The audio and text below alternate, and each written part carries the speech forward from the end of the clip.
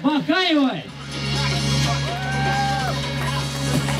Добрый день, спасибо большое, что пришли в этот прохладный день в парк имени и стали первыми посетителями нашей выставки «Поцелуй России». Мы создали этот яркий, жизнерадостный проект вместе с известным а, и талантливым фотографом Дмитрием Исхаковым.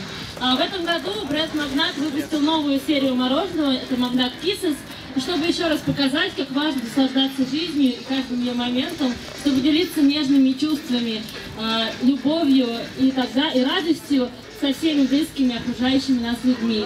А, Сегодня, в этот день, а, выставка открывается в трех российских городах. Это Екатеринбург, Санкт-Петербург и Сочи. И также выставка проходит в Москве до середины июля. Давайте же откроем вместе эту выставку в центре Урала. Выставка объявляется официально открыта!